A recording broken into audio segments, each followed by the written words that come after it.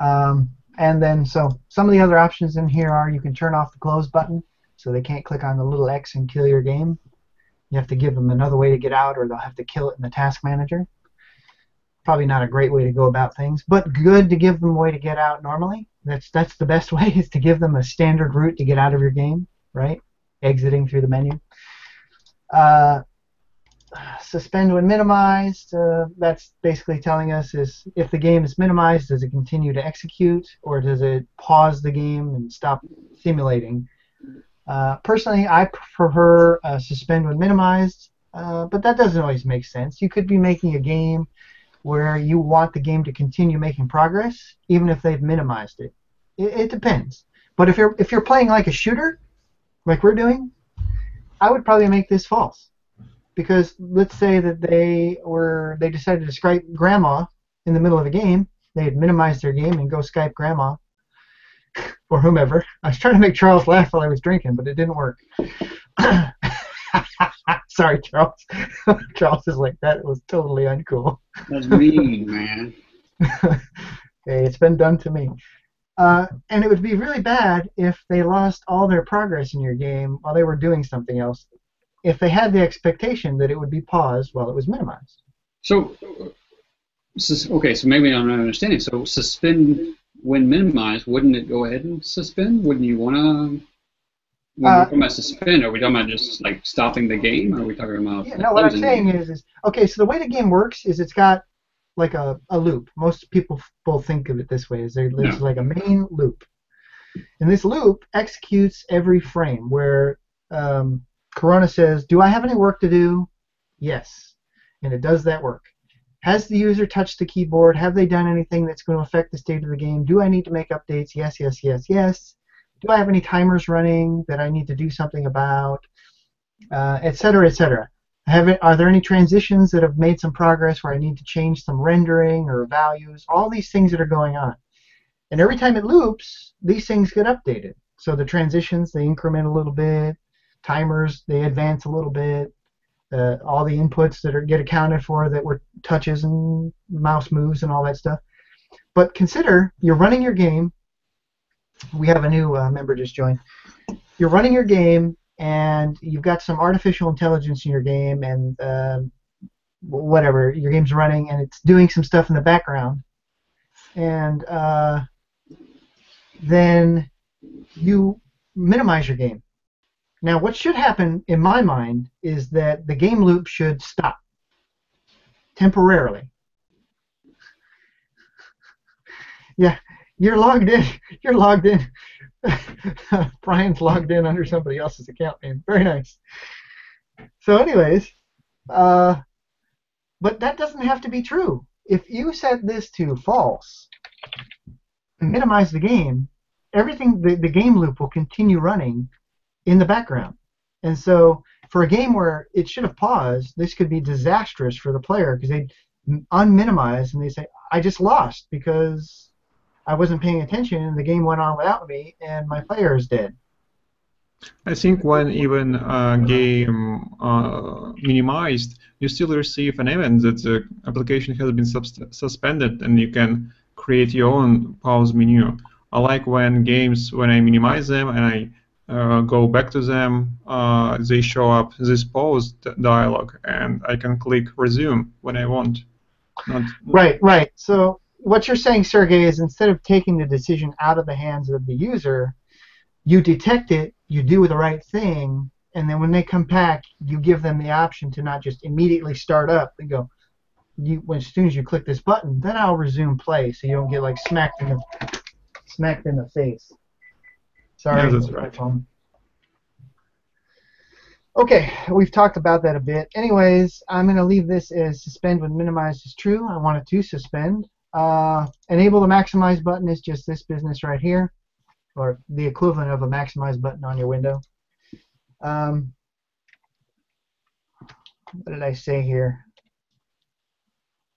Oh, trying to make that fit a little better. Okay, here's the part uh, that I talked about earlier, where you would you have the option now in build settings to set up some defaults. So regardless of what you said about the config Lua, which is you said this is my design resolution. treat the world as if it's 960 by 640. What you're saying in build settings at this point is regardless of what the configuration is for the, the config Lua says, when I really display this thing, what is the default width and height that I want to display at? So for example, I could change this to 320 by 480. And now my in-game design space would be 320 pixels by 480 pixels tall. But in build settings, I've left it as when you open this, and if you display it as a non-maximized window, make that window 640 pixels uh, wide and 960 pixels tall, twice the resolution. So this has nothing to do with in-game pixel resolution. This is you're telling the game how you want it to display on whatever monitor you're targeting. Just the size the of the window, right? Just the, just, sure? just just the how the the window opens up. Exactly. It's just the size totally of the about window. the size of the window. Physical physical size of the window. Yeah. Let me get this back here. So the thing that's important to understand about this is you may be tempted to say, okay, well my monitor is 1920 by 1080 and I'm going to make a windowed app, so I'll make this 1920 by 1080. Well, that would be the wrong decision. First of all, if you make a windowed app, windowed apps have a little bit of extra cruft. They got some borders, they got a header, they got the buttons at the top. So if you make the resolution 10, uh, 1920 by 1080, it's going to be bigger than the screen, and it's going to it's going to be off the screen a little bit. What you really want to do for a windowed game is choose a nice half resolution or third resolution, maybe if you want to go down that far. So some nice resolution that still has a good aspect ratio related to your design ratio, but is smaller than the the smallest screen you can imagine somebody running this on. So that when they run it, I don't know if you, you guys have experienced this, but like in the olden days, in the, when it was sort of like the wild, wild west for um, for games, and we were getting all the new technology, and we were all excited to have like a 320 by 480 monitor, and then one of us got a 1024 by 768. I'm just making up these resolutions, but you remember when monitors were going through like these advances, and they were getting bigger and wider and more and more and more, but unfortunately for us, we didn't have the newest, latest, greatest one. We still had the one from last year, but some designer, some game designer said, I'm taking advantage of the new resolution. And then you try to run their game on your, your thing, and you'd be like, it's taking up the whole monitor. I can't find the button to minimize this. You know, that problem is less of a problem today. But what I'm saying is, is as a professional trying to make a game, don't make your game do something stupid on somebody's less cool system than yours. So consider that person and maybe make it start at a lower resolution if you're going to go with windowed mode. Now, if you're going to full screen mode, not so much of a problem. Um, another thing that's kind of cool I like that Corona did is they have set a minimum width and height, which is really smart.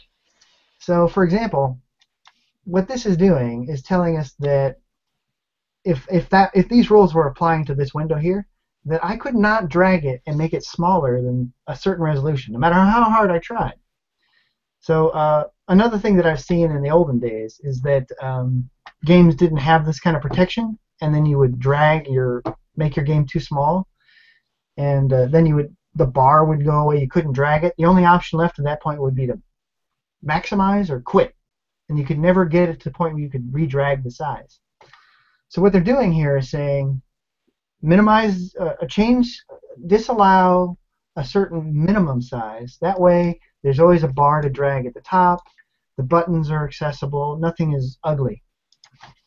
Also, it may it may make uh, it may make a difference in terms of playability. You may your game may be completely unplayable beyond a certain minimum resolution. Now, all of these decisions are the kind of like things that you need to decide up front, uh, but some things are less important than others the big important things uh, that we've talked about so far are basically um, keeping in mind whether or not you're going to allow full screen, maximized, uh, you're going to use windowed mode or full screen mode between those two, and then if you're going to support resizing.